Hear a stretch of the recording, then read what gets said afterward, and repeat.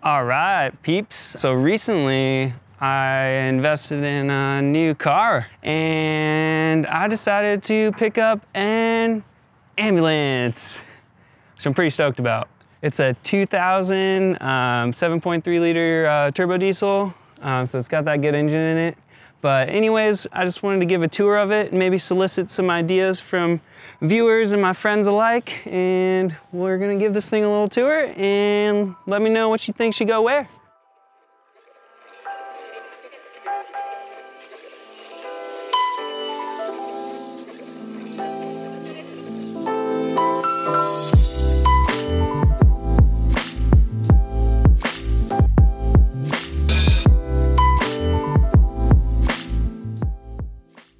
All right, so let's do a little walk around. We'll start on this passenger side and just go all the way around to the driver's side. So this first little cabinet right here opens up. Some nice shelving that actually goes all the way through. So obviously tons of cabinet storage in an ambulance. I mean, they gotta carry a lot of medical equipment. And then below here, we got all our batteries, pretty much a power drawer to run everything in the back, which you'll see there's plenty of AC outlets back here. Imagine that, we got another cabinet, which to me just immediately screams skis and snowboards. That's nice and tall. So we'll see about that one, but what do you guys think? We can see the whole back back here. Wide open. Pretty awesome too. We're already equipped with a little backup camera.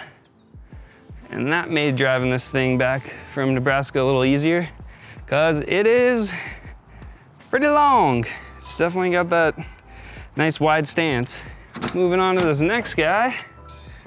So what's kind of cool about in here is it's again, nice big cabinet storage, um, but also goes through and into the cab. What should go in here? See, I don't know. And moving on, even more outside cabinets. Pretty much got another bottom storage where above this is uh, the countertop on the inside of the cab. Um, but again, tons of storage. And the last cabinet on the outside is this guy.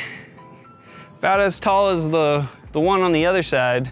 But uh, what's really cool is it has this oxygen tank hookup which to me just screams, move this up, put a propane tank.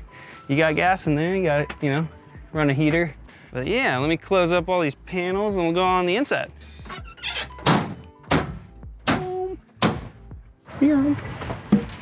First thing, up here the top, it's got a nice big AC unit that I tested out the other day. Runs nice and cold, so, you know, comfortable passengers back here. Got seat belts for one, two, three, and four, and then five in the captain's chair. So six, seven, we can fit seven people legally in this bad boy. That's pretty cool.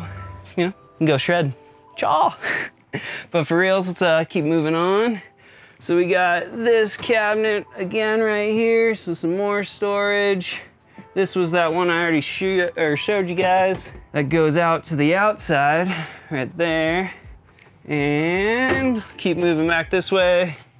This is that bench seat. When we got, uh, got some more cabinet space up here. Old IV heater, that's fun. Thinking uh, could probably just set a pair of goggles on there and pre-warm the goggles. I got some fogging issues, so maybe that'll solve them. Um, but moving on, the more cabinets. And what's really cool about these cabinets, which almost all of them do, is they have this latch you can really open them all the way up too if you want. to get some in and out of there. And then these bench seats pop up as well. And more storage. I think that's gonna be the name of this video is just more storage, more storage. Uh, this drawer comes out that kind of goes into there. Moving around, this is again that storage area that goes into the outside. So it's kind of nice. Um, and then we got, again, some more cabinets up here, kind of fit clothes or whatever else in the future. Uh, like I said, this thing's equipped with a lot of uh, AC outlets. There's one there. There's one kind of back in the corner over there. A little tiny storage area down there. Um, this obviously kind of pops down and you got this big counter space right here. Coming up, we got this captain's chair. You know, you can leave it in here for seating and then, you know, on this countertop, got a nice little, little workspace right here. It's pretty sweet. I'm kind of down for that. Moving on, we got, this was where that oxygen tank normally sits. So we got access there with a little, little hole right here. So that's kind of nice. Can, like I was saying, run a heater or something. Um, again, just more storage. That's the name of the video, just more storage. So what do I put in the storage? That's the real thing. What goes where? And let's see what else we got in here. Oh, this one, this one's kind of fun um, because I have no, I'm not an electrician at all. Um, I have taken some physics classes, but besides that, I have a lot to learn in here. That's a little intimidating. Um, got, I don't know, all that circuit board for everything running in and out of the van. So luckily though, they gave me a diagram and I think I'm a, I think I'm a decently smart guy, so I'll figure it out. Um, or I'll find someone to mentor me. Another little tiny cabinet that kind of is right between the cab and then this opens up Again, more storage. Uh, this is where the inverter once was. They took it out though, so I gotta find a new inverter. So yeah, if anyone recommends an inverter, I'm kind of done some research already, but more than open to uh, some recommendations for sure. Do do do. Ambulance. Yeah, this is kind of the front area. Um, unfortunately, uh, they took out the radio and the siren, but it left all the lights. So I'm gonna try not to get myself in trouble by using them, but you know, like you, you gotta do it every once in a while. And then there's a little backup camera readout right here. And everything else is kind of just the same for a big truck.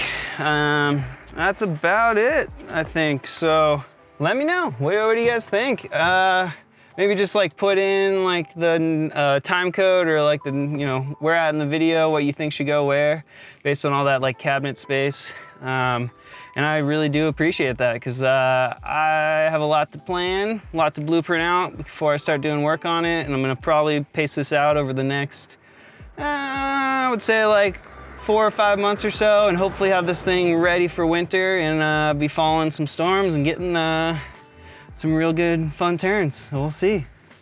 Oh, it's a bam! Hi, Christina. That's about it.